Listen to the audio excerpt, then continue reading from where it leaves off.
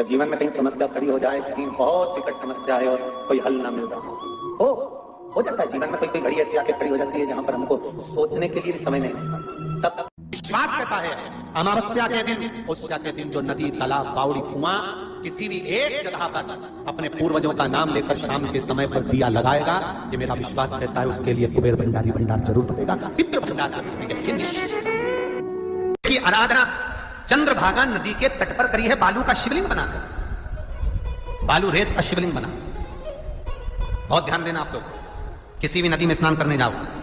तीज त्योहार पर अमावस्या, पूर्णिमा आदि जो भी उत्सव मनाने के लिए आप किसी नदी के घाट पर जाते हो, किसी तालाब के घाट पर जाते हो, किसी कुंड के, किसी सरोवर के घाट पर जाते हो, और यदि आप स्नान कर रहे हो किसी पवित्र नदी में तो वहाँ की बालू रेत उठाकर शंकर भगवान के शिवलिंग बनाकर जो पूजन करता है मात्र पाँच बार उसी नदी का जल शंकर को समर्पित कर कर भले दिया नहीं अगरबत्ती नहीं है जल चढ़ाकर जो शिवलिंग को विसर्जन कर देता है उसके पूर्वजों को दुख भी बढ़ रहा है कहीं परिवार सही नहीं चल रहा है। तो प्रयास करते रहा करो। हफ़्ते में एक बार एक चावल का दाना जल के पात्र में डाल लिया एक काली मिर्च जल के पात्र में डाल ली। और उस जल को ले गए थोड़ा सा चंदन का छींटा डाल दिया ले जाकर शिव जी को समर्पित कर दिया। जाती है या कोई तकलीफ़ खड़ी हो जाती है?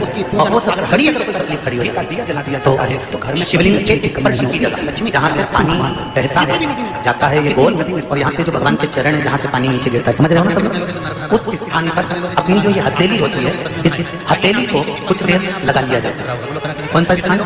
जहाँ से शिवलिंग पर जल चढ़ा, ये जलाधारी में गोल घुमा, घूम के जहाँ चरण से नीचे जाता है, वहाँ कुछ देर के लिए इस हथेली को लगा लिया जाता है। अपनी हाथ की, सीधे हाथ की हथेली को लगाया जाता है। और देवादिदेव महादेव का या तो पंचाक्षर मंत्र या षडाक्षर मंत्र या श्री शिवाय नमस्ते इस मंत्र का या महामृत्युंजय मंत्र का स्मरण कर है। और दिल की बात भगवान शिव से कह दी जाती है।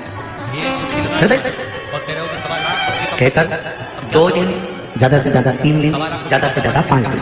बस छठे दिन की ज़रूरत नहीं पड़ेगी। बाबा रास्ता खोल देगा और कार्य सफल कर पवित्र नदी की बालू का, बालू मतलब रेत बालू का शिवलिंग का निर्माण करना, उसका पूजन करना, पूजन कर जो बत्ती बत्ती जोड़कर एक सौ बत्ती बनाई है। पूजन कर कर एक दिए में वो बत्ती, उस जो बालू का शिवलिंग बनाया है, पार्थिव शिवलिंग का निर्माण करा है, जो तुमने किसी गंगा, सरयू, नर्मदा, छिपरा, मंदाकिनी, नर्मदा आदि पवित्र नदियों के तट पर स्नान करते समय तुमने जो शिवलिंग बनाकर पूजन करा है, उसके सामने वो बाती को जला देना, उसी से आरती उतार लेना, वो बाती वहाँ लगाकर छोड़ देना और छोड़ने के बाद उस शिवलिंग का फिर विसर्जन कर देना। विसर्जन कर कर उसी जल को अपने ऊपर छींट लेना, सवा लाख डुबकी का फल एक ही क्षण